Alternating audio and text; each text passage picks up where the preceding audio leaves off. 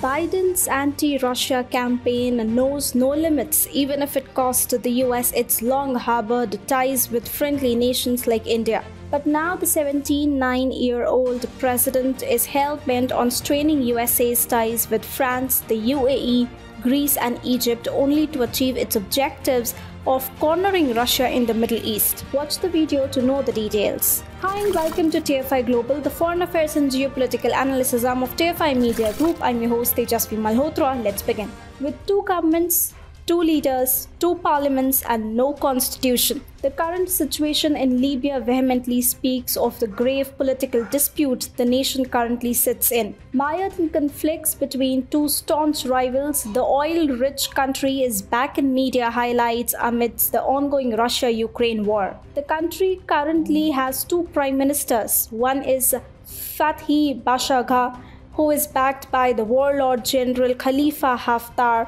The other is the interim Prime Minister Abdul Hamid Dabeiba, who is backed by the UN based Government of National Unity.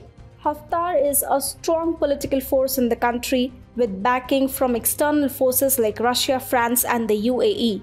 And that explains USA's renewed interest in toppling the Haftar's backed leader in Libya to undermine Russia's influence in the country. Make no mistake, the US also has its eyes firmly set on the rich oil reserves of the country that it can easily use to help the EU reduce its dependence on Russian oil imports. Al Arabi recently reported that in a significant pivot, the US is now changing its strategy in Libya and is eyeing to bring the two rival prime ministers to the table. This is significant because the US has in recent past granted support to the Haftar backed government under pressure from allies like Egypt and UAE.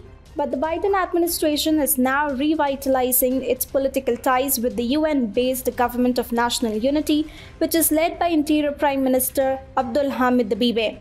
This is a major shift in USA's policy, which sends a warning to General Khalifa Haftar. USA's sudden pivot against Haftar is driven by the latter's blatant support of the Russian invasion of Ukraine. Haftar recently announced that his fighters would join the Russian military in Ukraine to help Moscow eliminate its rivals in Ukraine.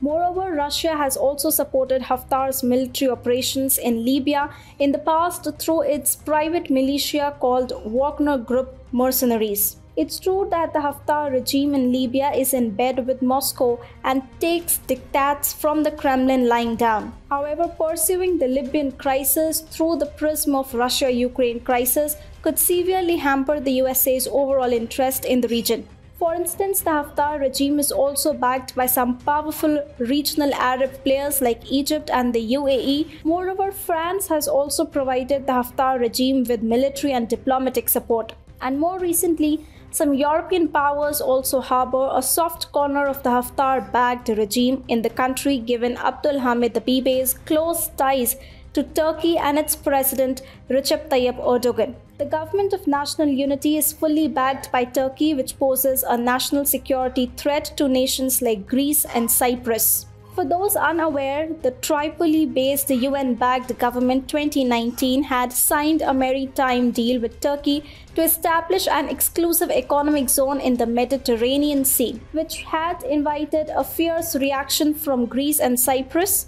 These European nations alleged that the deal between Libya's UN backed government and Turkey violated their maritime boundaries. Simply put, the UN backed government in Libya is abhorred by almost all significant players in the region, barring Turkey. The Biden administration, by throwing its weight behind Abdul Hamid Dabeiba, may succeed in undermining Russia's interest in the region. However, it could very well lose support from major US allies like the UAE, Egypt, France, and Greece in the process. Thus, Biden's move to undermine the Haftar backed regime in Libya is a short sighted and suicidal move which will only help Russia strengthen its presence in the region.